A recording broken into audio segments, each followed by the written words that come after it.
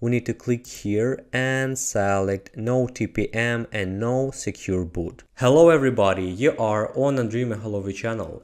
Today I'm going to show you how to create bootable USB drive with Windows 11 22H2 version. It is the latest version and after that you will be able to install it on any unsupported hardware. We're only going to use Windows 11 original ISO file and Rufus. That's all. Actually, this is very useful tip because you need to repeat this process only one time and voila, you will have a flash drive and you can use it to install Windows 11 on many unsupported hardwares. So in my opinion, this is very convenient and reliable. Also, I want to remind you that I use only original ISO file from Microsoft official website and license window. We don't talking about pirates windows, and definitely I don't appreciate tips like that. I'm only sharing my own experience how to install Windows 11 on unsupported hardware. First, you need to understand that you're trying to install an operating system that your device officially doesn't support. It's under your own risk. So guys, before this video start, please like it and don't forget to subscribe to my channel, it will help me a lot. So, let's get it started. For the beginning, we need to open our browser, in my case it's Google Chrome browser, then type next, Windows 11 and press enter. So here you may see Microsoft official website, click on it as you can see, there is a new update because previous there was Windows 21 H2 version and now there is available 22 H2 version. We need to scroll down a little bit. First of all, we need to download Windows 11 ISO file. Click here and select Windows 11 Multi-Edition ISO. After that, click on download.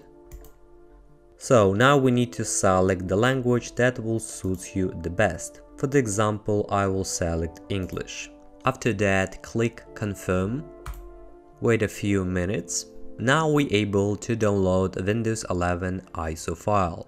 Just click here and wait until it will download on your laptop or computer as I previously said. Here we see a different name of the ISO file, then 11 22H2 version and previous there was 21H2 version.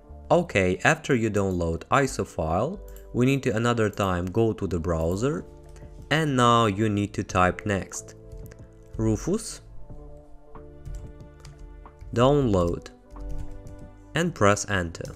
Here you may see link on the official website, but we need to click here on downloads. If you download a newer version of the Rufus, you will not be able to skip Windows 11 system requirements, for example TPM 2.0 and the specification of the processor. Be sure to select Rufus 3.18 version. As I previously said, I will select portable version, that means that this app will run as portable application. Click here and wait until the download process will begin.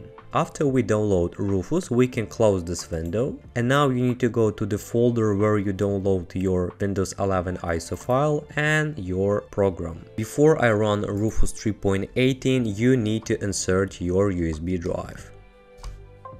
Okay, I already installed my USB stick into the laptop and now I can run Rufus click on it. So now you may see this message, do you want to allow Rufus to check for application updates online? Click no in short, my laptop Dell E5470 runs on Windows 10 and I can use this method without any problem. But if you have Windows 7, this method will not work for you. Here I can select my USB drive, don't mind if you see this text, Bliss OS because previously I download this operating system on my flash drive. The most important that we need to do right now is to select our ISO file. Click here on select now we need to go to the folder where we download our ISO file. In my case, it's downloads. Select and click open. now you may see image option. We need to click here and select no TPM and no secure boot. This is the most important option that help us to skip Windows 11 system requirements. Click on it. If your laptop support UEFI, you can just click start and you definitely don't need to change anything. But if your laptop doesn't support UEFI, it supports legacy, you can click here, select this option. After that, your laptop will have two options to run your USB stick in legacy or UEFI. So this option will suit anyone. After that, click start. It's not top secret information that all data and all file will be deleted from your USB stick. Click OK. So guys, now you need to wait until Windows 11 22H2 version will be installed on your USB stick. And finally, everything is ready. We create a bootable USB drive with Windows 11 22H2 version and definitely I recommend to safely remove your flash drive. For this we need to click here and select our USB stick. And now you can remove your flash drive. After that just install it into another laptop, enter the BIOS and put your USB drive at the first place. So guys, if this video was useful for you, please like it and don't forget to subscribe to my channel, it will help me a lot. Also, on my channel you can watch a lot of interesting videos and I will be glad if you watch all of them. Goodbye everyone, see you soon.